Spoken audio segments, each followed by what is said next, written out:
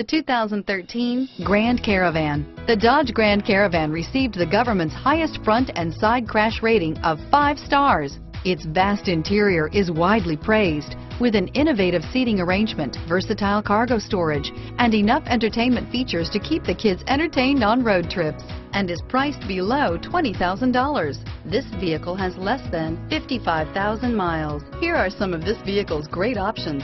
Anti-lock braking system, traction control, quad seating, air conditioning, front, power steering, aluminum wheels, cruise control, AM FM stereo radio, rear defrost, climate control, multi-zone, FWD, child safety locks, bucket seats, CD player, MP3 playback stereo, power windows, power door locks, intermittent wipers, reading lamps front, remote keyless entry.